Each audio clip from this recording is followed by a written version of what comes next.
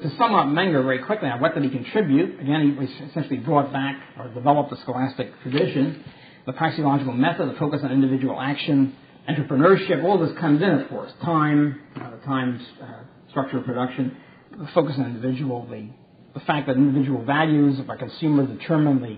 our expected values of consumers determine the value of the factors of production entrepreneurs are willing to invest in.